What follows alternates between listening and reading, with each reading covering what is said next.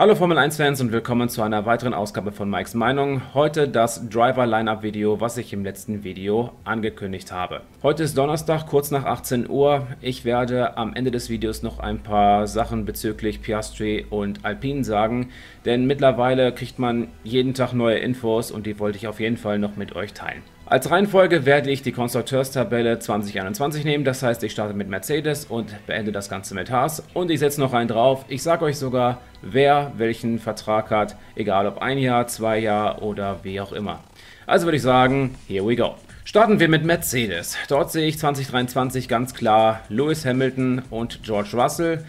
Ähm, einfach deshalb, weil die beiden auch bestehende Verträge haben. Lewis Hamilton, sein Vertrag geht bis Ende 2023, obwohl ich gehört habe, dass der Brite aller Voraussicht nach noch ein weiteres Mal verlängert und zwar bis Ende 2025. Toto Wolf hat ja auch am Rande des Ungarn Grand Prix gesagt, wo er die 300 Grand Prix gefeiert hat, er könnte sich sogar 400 Grand Prix beim vorstellen. Vielleicht war das ja irgendwie so ein Hinweis, man weiß es nicht. Was George Russell angeht, er hat einen sogenannten Long-Term-Contract. Ich vermute mal, dass das wohl fünf Jahre sind. Es gibt ja hier diesen Multi-Year-Contract, das sind zwei Jahre plus ein optionales Jahr.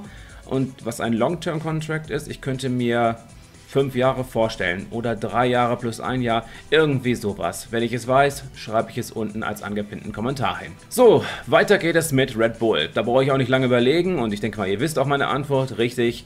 2023 sehe ich dort Max Verstappen und Sergio Perez, einfach aus dem Grund, weil Max Verstappen nämlich einen sehr, sehr langen Vertrag hat, denn er hat nämlich vor ein paar Monaten verlängert und zwar um weitere fünf Jahre. Und zwar, sein Vertrag geht jetzt bis Ende 2028. Das ist schon verdammt krass. Was Sergio Perez angeht, hat er sich so ein bisschen, ich sag mal, nach seinem Monaco-Sieg hat er sich ein bisschen verplappert. Denn eigentlich sollte sein Vertrag nur bis 2022 gehen, also Ende 2022.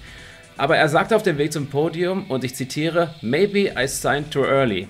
Damit war dann die Katze aus dem Sack und er hat nicht einen Einjahresvertrag bekommen, sondern einen Zweijahresvertrag. Das heißt, Ende 2024 läuft der Vertrag des Mexikaners bei Red Bull aus. Springen wir zu Ferrari. Da sehe ich 2023 Charles Leclerc und Carlos Sainz. Beide haben Verträge bis Ende 2024, wobei man bei Carlos Sainz sagen muss, genau, also fast genau dieselbe Situation wie bei Checo Perez. Ende 2022 wäre sein Vertrag ausgelaufen, aber der äh, Spanier hat dann, im, äh, hat dann im Rahmen des Imola Grand Prix dann nochmal zwei weitere Jahre draufgelegt. Und ja, beide Fahrer dann bis Ende 2024 an die Scuderia gebunden. Springen wir zu McLaren. Da sehe ich 2023 Lando Norris, der einen Vertrag bis Ende 2025 hat. Und Oscar Piastri, aktueller Formel 2 Meister. Äh, ich kann mir bei äh, Piastri äh, zwar noch keinen Vertrag vorstellen, weil es ja auch noch nicht offiziell ist, aber ich denke mal, er wird wahrscheinlich mit einem Einjahresvertrag starten. Kann ich mir gut vorstellen. Was meint ihr Na, bezüglich der Piastri-Thematik? Welchen Vertrag würde er wohl bei McLaren bekommen? Weiter geht es mit Alpine. Bei Alpine sehe ich 2023 folgende Fahrer, und zwar Esteban Ocon und Daniel Ricciardo. Ja, ganz recht. Der Franzose hat einen Vertrag bis Ende 2024 und ich könnte mir vorstellen, dass Daniel Ricciardo zu den Franzosen zurückkehrt, für die er 2019 und 2020 fuhr. Das heißt, er hat dort einen Zweijahresvertrag. Wenn das Ganze, hoffe ich mal, offiziell gemacht wird und er zu den Franzosen zurückkehrt, könnte ich mir vorstellen, dass er nochmal zwei Jahre bei den Franzosen fahren könnte. Machen wir mit Alpha Tauri weiter. Dort sehe ich 2023 Pierre Gasly, der einen Vertrag bis Ende 2023 hat, und Yuki Tsunoda. Denn Franz Toast sagte vor wenigen Wochen, dass der Japaner auf jeden Fall einen guten Job macht und er sich auf jeden Fall vorstellen könnte, dass man mit dem Japaner auch 2023 zusammenarbeiten könnte. Springen wir zu Aston Martin. Da sehe ich natürlich Fernando Alonso und Lance Stroll. Interessante Info übrigens, was Fernando Alonsos Vertrag angeht. Es ist ein 1 plus 1 plus 1 Vertrag. Könnt ihr gerne mal diskutieren, was das wohl sein könnte. Ich habe da auch so meine Theorie. Aber was auch noch drin steht, ist eine Klausel, die besagt, er kann jederzeit aufhören, wenn er mit der Fahrzeugentwicklung nicht einverstanden ist. Das habe ich, soweit ich äh, jetzt nachdenken kann, auch noch nicht erlebt. Kennt, habt ihr schon mal irgendeinen gehabt, der so einen Vertrag hatte?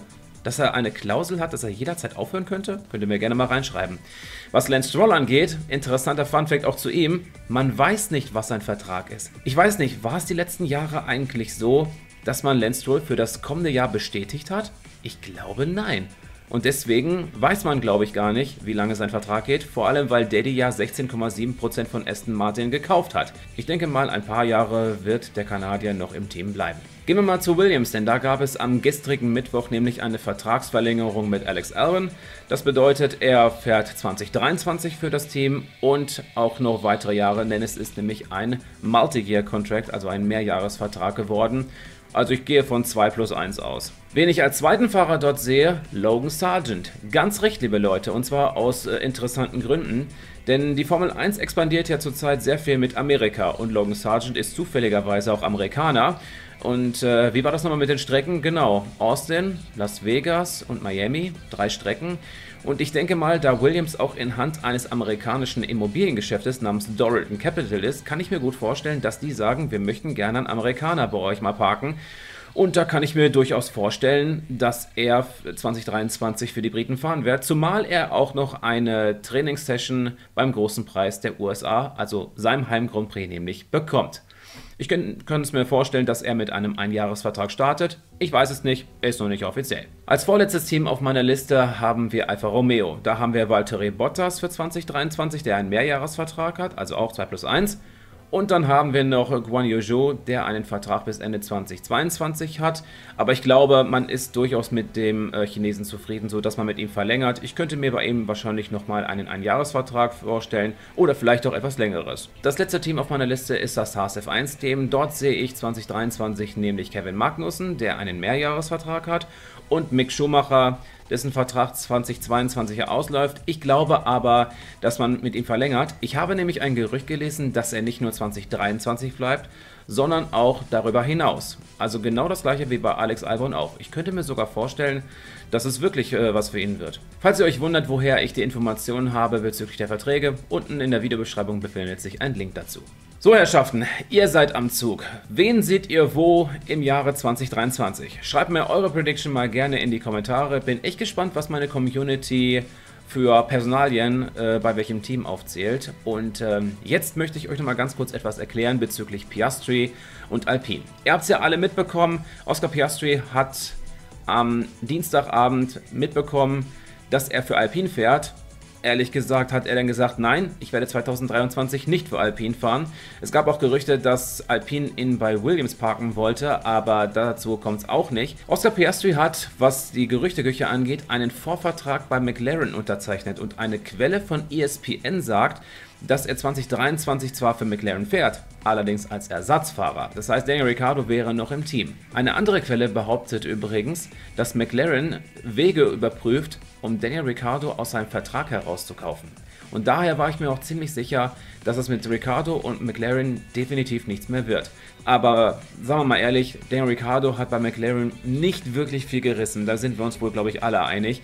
Und ich glaube, Piastri und Norris wäre auch ein gutes Line-Up für 2023. Außerdem bekommt Alpine, wenn Ricciardo zu denen zurückkommen würde, und Ottmar Schaffnauer würde das ja auch, äh, soweit ich weiß, begrüßen, oder er hat kein Problem damit oder irgendwie sowas, ähm, man würde auf jeden Fall einen mehrfachen Grand Prix-Sieger nehmen und er kennt sich mit dem Auto auch besser aus. Ricardo hat mit dem Renault-Auto, jetzt Alpine, überhaupt keine Probleme gehabt und er kam schnell klar. Von daher wäre es, glaube ich, gar nicht mal schlecht, wenn er zu Alpine wechselt. Was haltet ihr von dieser ganzen Piastri-McLaren-Thematik? Könnte Daniel Ricciardo dort herausgekauft werden? Also wird das wirklich Realität?